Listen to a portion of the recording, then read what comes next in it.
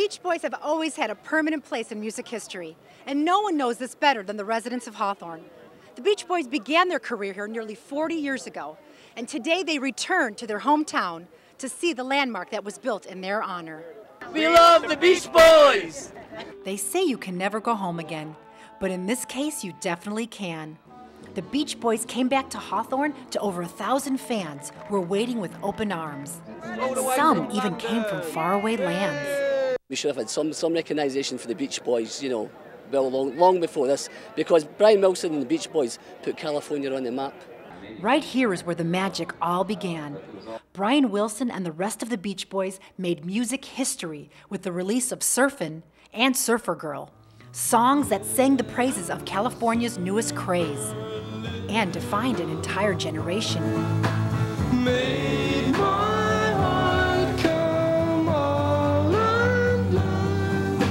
what we were back then. It's a reflection on youth, it's a reflection on um, very innocent times, it's a reflection of a great culture that grew up in California and spread worldwide. By releasing hit after hit, the Beach Boys put Hawthorne on the map and made California the place to be. I think it was like a dreamland in people's heads that weren't from California, and uh, you know, it moved them to pick up and move, and that's that's pretty monumental in someone's life to pick up and move across the world or across the country. The dedication not only served to pay tribute to one of the greatest bands in the world, but was also a way to reunite a family that had lost touch.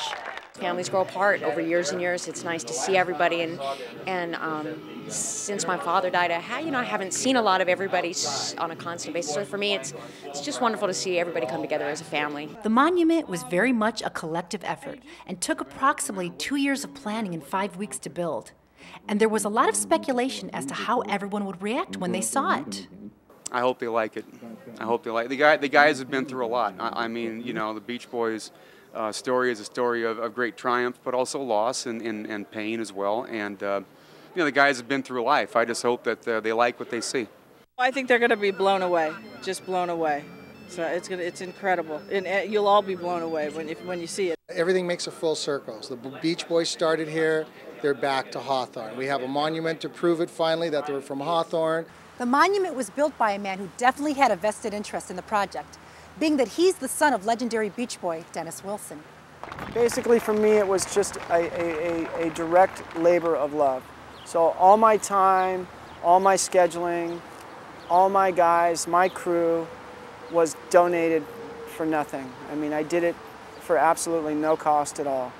After seeing the monument, many reflected back on just how much of an impact the Beach Boys, and especially Brian Wilson, had on this world the music is endearing, obviously. I mean, uh, Brian uh, knows how to put a couple of chords together, shall I say? And the rest of us, we're, we're in it for the ride, and, and we didn't appreciate it probably early on, but now we do. Brian, one thing about him is that he loved what he was doing. He loved the music that was in his head, and he was able to bring it out to and share it with us all. Through the words and through the music, it's very encouraging and um, the world is a better place because of Beach Boy music. The Beach Boys and Hawthorne will always be tied together. And now, with their monument, they will forever be etched in stone in our city and in our hearts. Reporting for HCTV, I'm Margie Placas.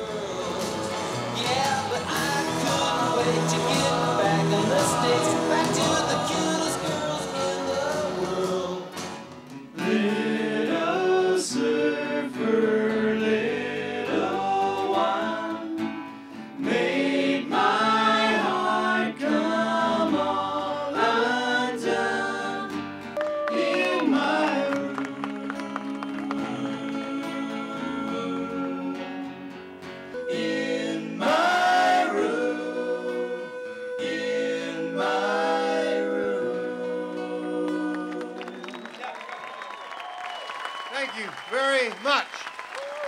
I just want to say thanks to all my friends that showed up today. It was a big thrill for me to come back to my old stomping grounds. And uh, wish you all have a good day and a good night. Thank you.